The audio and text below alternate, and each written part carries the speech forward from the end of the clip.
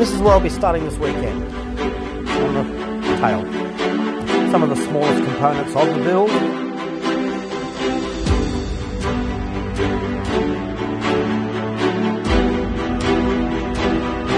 Okay, one completed rudder. We'll it together.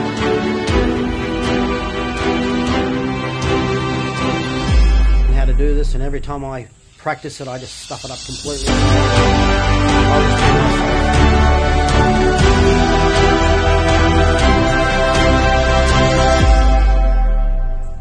Hi and welcome.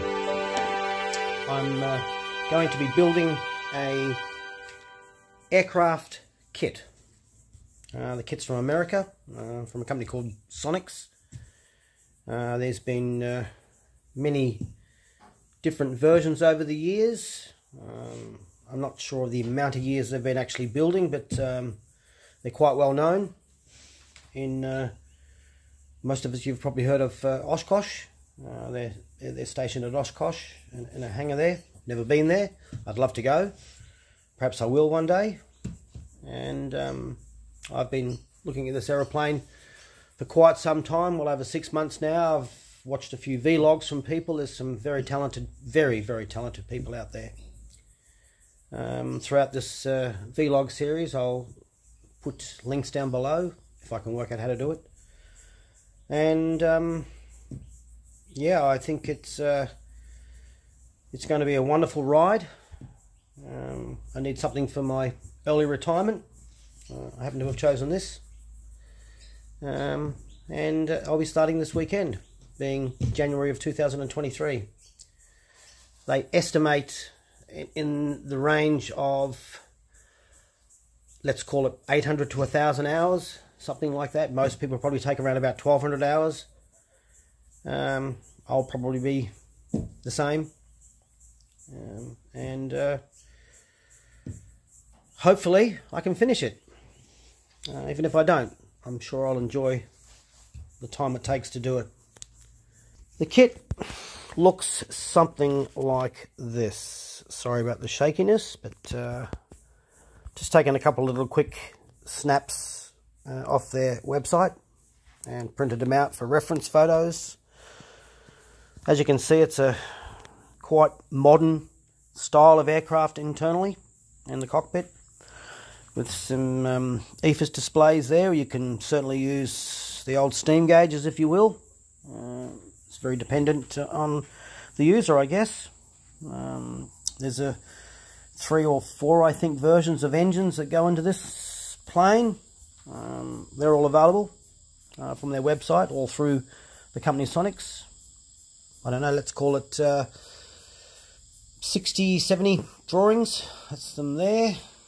Um, this is uh, what I'll be starting on this weekend. It's uh, it's a V-tail, uh, very similar to a Bonanza, um, with the difference of having a rudder as well as your elevators or ruddervators as they call them. So they both work independently with the rudder and also in, in pitch control, which I'll learn more about as I go.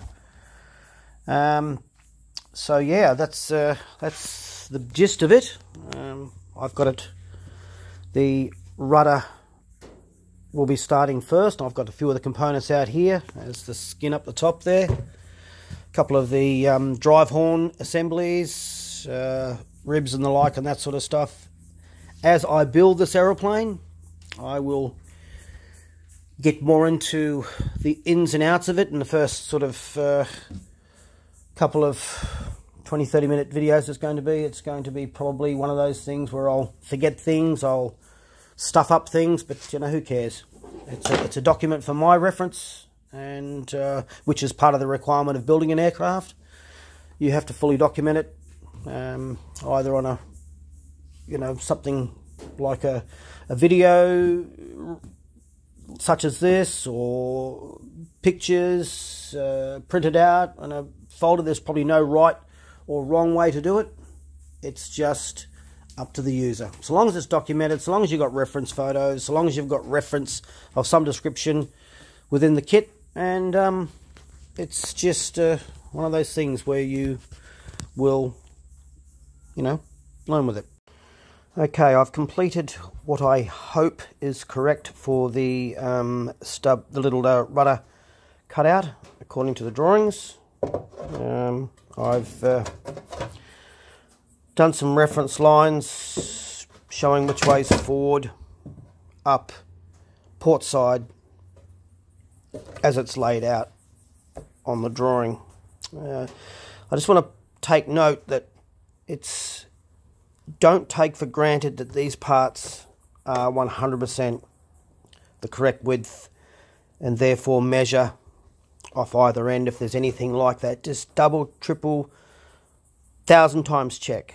This is this piece here was actually uh, pretty close to around about maybe eight or ten mil short. It's not detrimental to the cutting of the rudder, um, so long as you sort of work from from one side, which I did. I started from the cut edge, worked my way across, uh, made this line through here, and simply used a a tape or a measuring device, measured out 310 mil or 309.8, and used that line here as a reference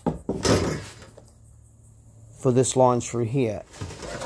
So you can actually see on there that if I'd followed this line through to here, the whole piece of rudder from this end would have been shorter. Now, I don't know that that's going to be that, uh, you know, detrimental to the, to, to the design.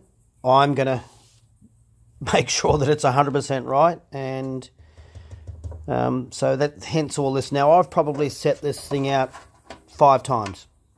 And each time something was just not gelling. And I found out what it was. It was on the this this piece here I wasn't gelling at the time that when I was looking at the distance between here and here which is the distance between here and here it was it looked to me a lot shorter. I was forgetting to take into consideration that this piece was actually sort of going down on the on the plane for the, rudder itself. So um, I think it's right. It's ready to cut I'm going to take a gamble and cut it now. Um, so I'll come back in a moment and hopefully it'll all be cut correctly.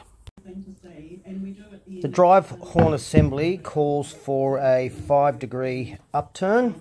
I'm just going to double uh, check that.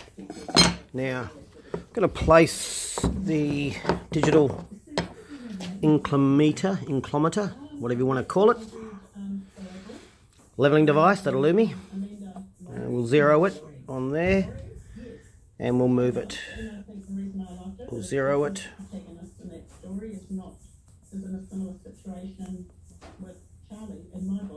On there and move it up onto there.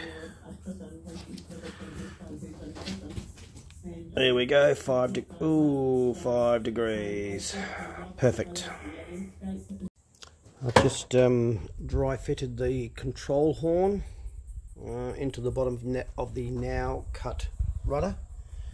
Everything seems to be fitting okay. It's not real good. I'll take it around that way. Seems to be fitting okay. Whoop. So I'll carry on and I'll just click all this together and uh, see how it looks. Okay, I have now clecoed the rudder together. Uh, hinge is just temporarily positioned. I'm going to leave the top um, pilot holes out until I just check the distance across here with the rudder cap, which I'll cut now. I'll just dry fit it in there to ensure that it's sort of fairly close to the top of that. Uh, if not, I'll start again. But anyway, there is it all clecoed together. Uh, it doesn't look too bad. I think it's okay. So, um, yep, back soon. Okay, uh, rudder is uh, now all um, piloted, uh, fitted, hinges fitted, uh, fiberglass cap, and I think it's all good. A few issues with it, um, basically orientation issues, just trying to work out um, where things go again, I can't stress enough. Um, keep looking at drawings and um, if in doubt, do it again. Start again. So uh, there you go. I can uh, now take it apart, uh, upsize it for the uh, CCP 44 or CCP 41, I think they are rivets, whatever they are. Anyway, we'll talk about that soon. Anyway, thank you for watching. Uh, rudder is now all upsized with copper clecos. I will uh, now pull it apart, deburr it, prime it, and throw it back together.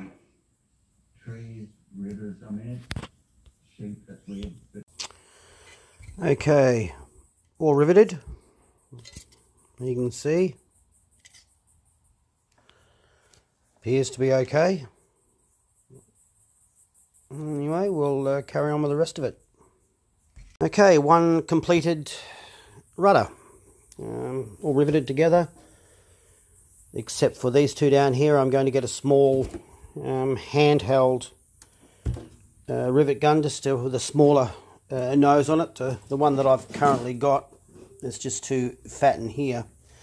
I'm also using a Chicago uh, pneumatic riveter uh, strongly recommended it's uh, very easy to do if you've got nine and a half thousand rivets to put in. I think you want to be using something like that. Um, anyway, that's pretty much it. I'm going to now start the elevators or the um, ruddervators as they call them.